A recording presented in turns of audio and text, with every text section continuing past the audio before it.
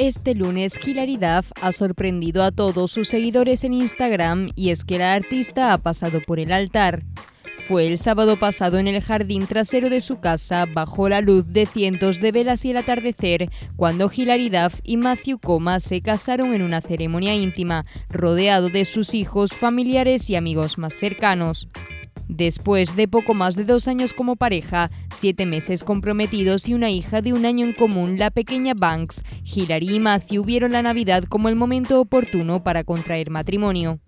La actriz vistió un traje hecho a medida por la diseñadora Jenny Pacan, un diseño simple pero llamativo con ciertos detalles que no han pasado desapercibidos. Hilary no quería un vestido pomposo, por lo que se decantó por un cuerpo ajustado y mangas en forma de capa que se confundían con la cola final del vestido.